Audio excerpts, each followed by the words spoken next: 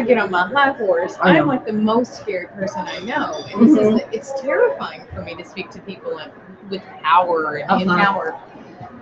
And, and what helps me is I think you have to just really kind of like what you do with your own personal Mhm. children. You have to sort of hold your students there in in your mind and in your spirit and let that fuel you Mhm. that you have to go do that on their behalf.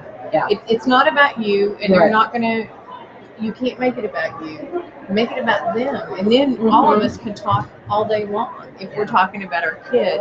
And that's what I think we forget. And then if you just absolutely feel like you can't, write an email.